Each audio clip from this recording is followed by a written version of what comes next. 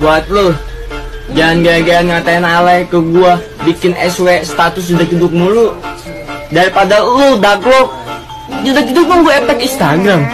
Iya. Kentang bos.